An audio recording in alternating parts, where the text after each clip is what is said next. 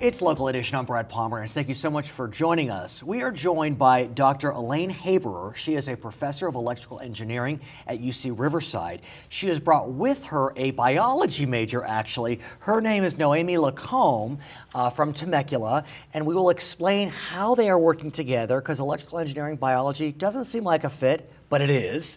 But they're working together at first glance, uh, going to Mira Loma Middle School and teaching the students about solar energy. And look, we brought props, uh, which I love. Why don't we start with you, Nohemi, and tell us about what we're seeing before us? Okay, so we have this setup. Um, we have the solar cell right here and we have this light source hitting the solar cell. So we're trying to teach the students that solar cells absorb light energy and they produce electricity. Right.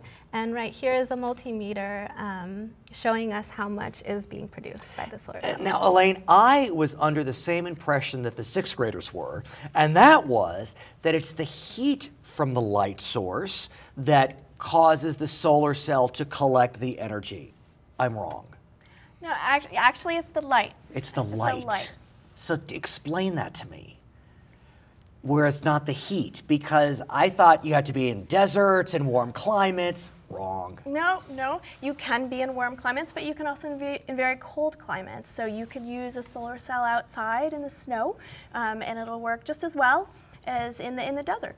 So, for example, you brought this ice pack to explain to the students, demonstrate. Okay.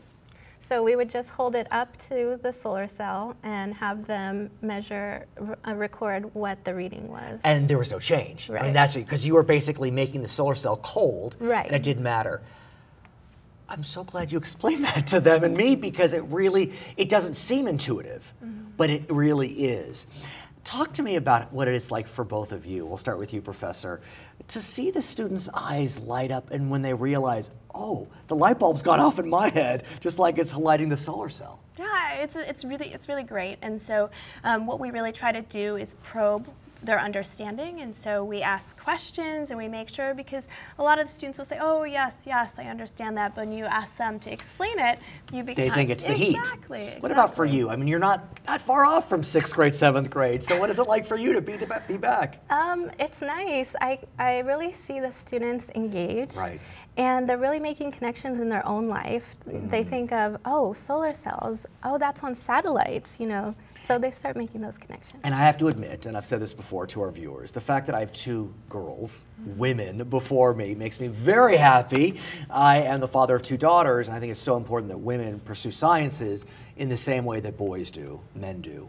Let me ask you, though, as I cough for a second, about the connection between biology and solar energy, because I never would have thought there'd be a connection, but you're creating one. Yes, yes. So my research looks at using biological materials to build materials for solar cells. Um, so it's much like an abalone uh, puts together a shell. Uh, we're using biological uh, molecules to put together solar cell materials. Did you ever think that biology and solar energy, electrical engineering could combine? No, but I was excited when I heard this. So what next? What's the next chapter for your students? Because we're you know early in the semester. Are you going back and going to show them the next level of solar uh, technology? So um, the experiments that we ran or the activities that we ran are uh, kind of the basis for them to learn about solar, and then they're going to have a solar car project uh, later on in the quarter. I want to be you. I want to go back to sixth and seventh grade and teach the kids about solar. And I want to thank you for teaching me that um, cold freezingness doesn't matter. It could be as snowy as ever, but the solar light will still work. Thank you both of us, both of you for joining us. My name is Brad Pomerance. Thank you for joining us back to HLN.